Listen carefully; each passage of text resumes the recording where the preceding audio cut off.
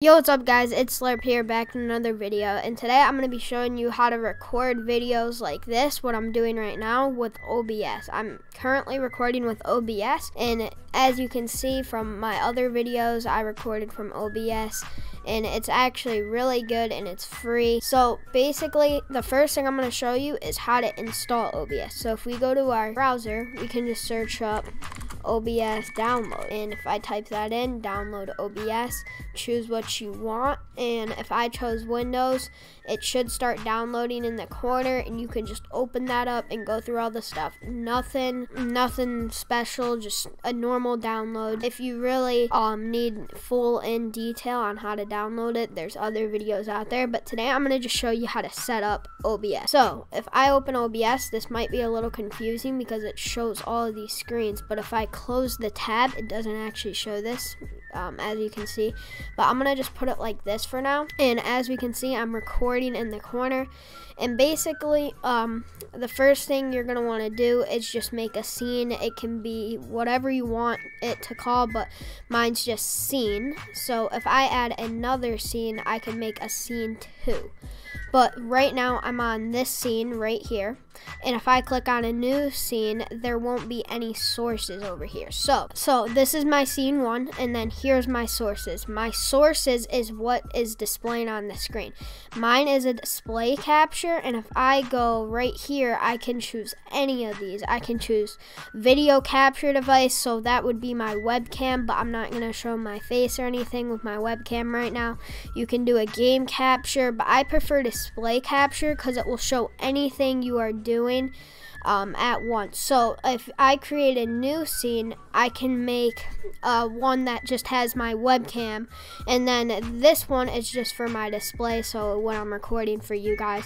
So that's pretty simple. And then this is how you are gonna set up your audio. So you're gonna just click Files, Settings, and if I go to my audio, I can choose any of the mics that are hooked up to my PC and you'll just choose which one you want. That is actually pretty simple. So I have my Arctis 7 headset on, so I could choose that.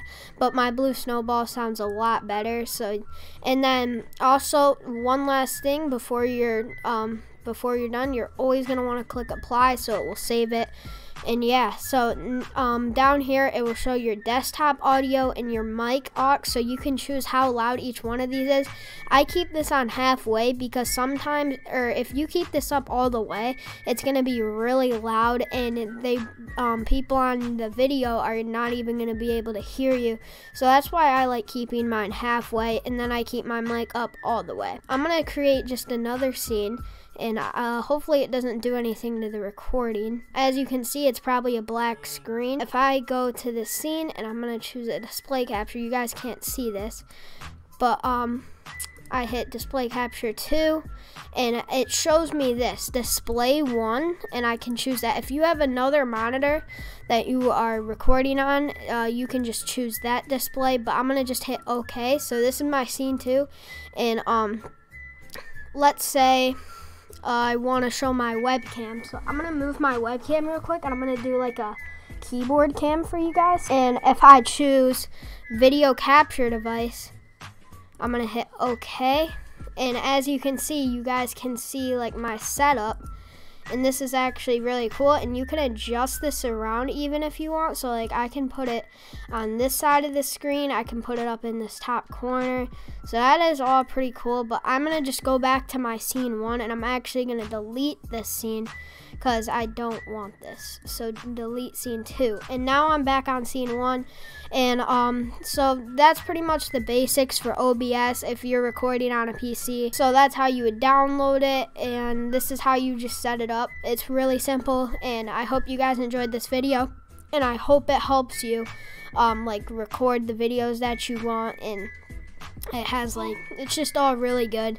And for for no money i think this is a great app. Maybe you should check it out. There might be a little bit of fps drop or like input delay but it shouldn't be by that much. So um yeah that's pretty much it. Then you guys i'll see you guys next video. That's pretty much it. Thank you guys for watching